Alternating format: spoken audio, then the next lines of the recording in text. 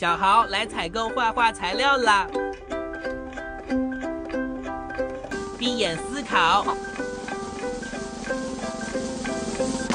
发现目标颜料。一幅画买一次颜料吗？其实不不应该是这样。老师，我颜料都不在我身边，对，在家里。认真挑抱住自己，挠挠后背。